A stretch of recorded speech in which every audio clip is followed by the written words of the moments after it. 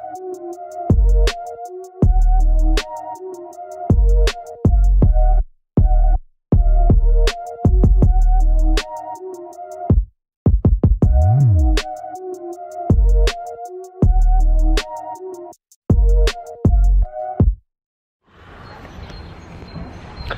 Was geht ab Leute? Willkommen zu einem neuen Video von mir. Wie versprochen, kommt jetzt wieder Content von mir. Ihr habt am Anfang so ein bisschen äh, Einschnitte bzw. Ausschnitte von meiner Ernährung gesehen, äh, was ich so esse als Vegetarier. Äh, das habe ich euch so ein bisschen eingeblendet, aber dazu werde ich auf jeden Fall nochmal ein einzelnes Video machen, um ein bisschen mehr dazu sagen. Hier gleich erstmal schön Rücken und hintere Schulter trainieren. Kein Energy gibt es vorher und äh, ja, Zeitungen habe ich schon drin.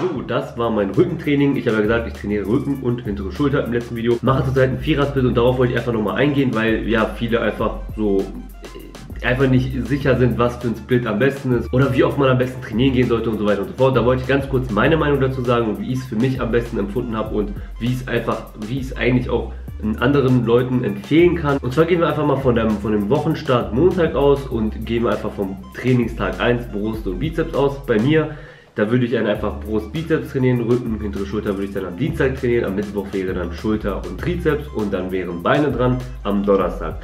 Und dann sind ja vier Tage durch.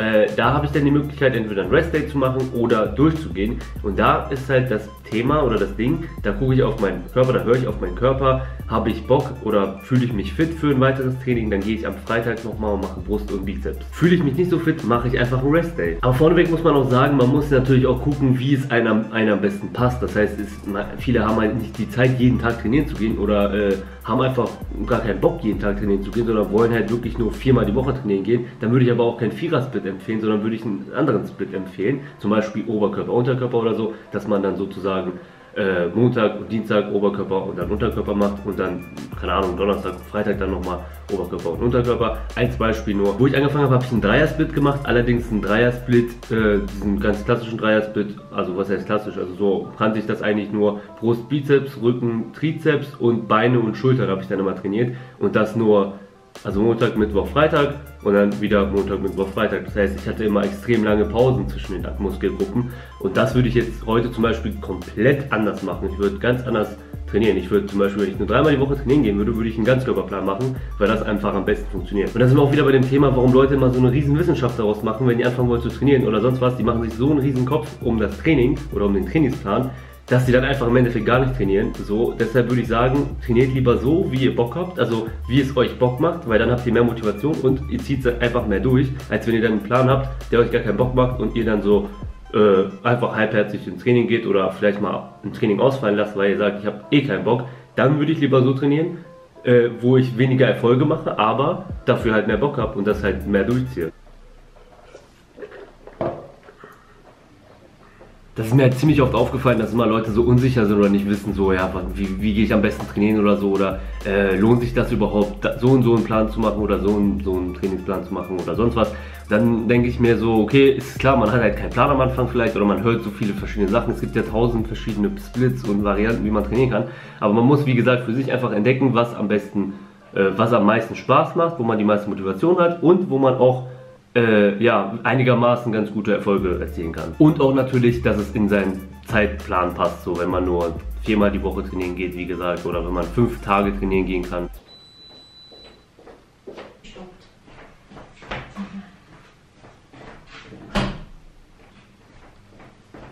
Ich habe zum Beispiel für mich herausgefunden, dass der perfekte Kompromiss zwischen äh, Spaß im Training und der beste Erfolg für mich äh, der Push, Pull und Leg Plan, also alle drückenden Muskeln, alle ziehenden Muskeln und Beine. War für mich immer am besten, das habe ich dann sechsmal die Woche gemacht, also äh, Montag bis Samstag, Sonntag immer ein Rest Day oder Cardio oder sonst was und dann halt Montag wieder gestartet. Also das war für mich immer der perfekte Plan sozusagen der mich halt motiviert hat oder der mir Bock gemacht hat und natürlich auch den besten Erfolg, weil ich dann sozusagen zweimal jede Muskelgruppe in der Woche trainiert habe. Ihr könnt mir an dieser Stelle in die Kommentare schreiben, was ihr für einen Trainingsplan zurzeit macht oder was, womit ihr am besten Erfolge. Ich glaube, so Push-Pull-Legs ist glaube ich der beliebteste Plan, aber viele machen dann Push-Pull-Legs und machen dann dreimal die Woche. Also die gehen dann Montag machen Push, Mittwoch machen die äh, Pull und Freitag machen die Legs.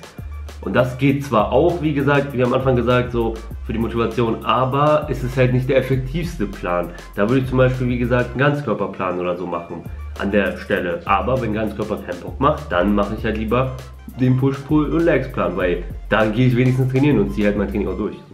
So, so ganz stumpf gesagt. Ja, und dadurch, dass ich keine festen Tage habe, wie gesagt, äh, fällt bei mir zum Beispiel ein Brusttrag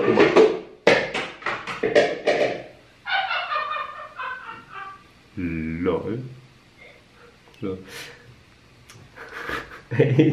ja, und dadurch, dass ich keine festen Tage habe, fällt bei mir zum Beispiel auch mal ein Brusttag an einem Dienstag oder an einem Mittwoch, weil es das ja immer so ein bisschen verschiebt. Ja, auf jeden Fall hoffe ich, dass ihr verstanden habt, wie ich das meine. Man soll sich da nicht so verrückt machen, weil ich echt oft also höre oder halt auch schon gesehen habe, dass viele sich so verrückt machen. Ja, ey, ich muss jetzt unbedingt gucken, ich mache jetzt, jetzt mein Brust ich trainiere jetzt meine Brust, ich trainiere in drei, in drei Tagen wieder Brust und mache ich jetzt so und so viele Übungen, mache ich jetzt so und so viele.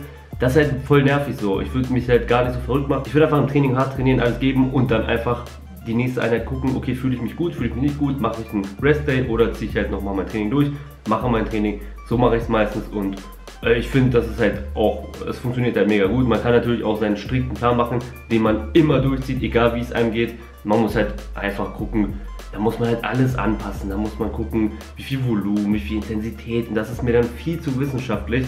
Da bin ich ehrlich, da höre ich lieber auf meinen Körper, weil das einfach im Endeffekt äh, für mich mehr Sinn macht, wenn man einfach mehr auf seinen Körper hört und nicht nur weil es auf dem Papier steht, ja, okay, da muss ich jetzt drei Sätze machen und äh, da muss ich äh, 4,5 Sätze machen mit äh, 3,67 Wiederholungen.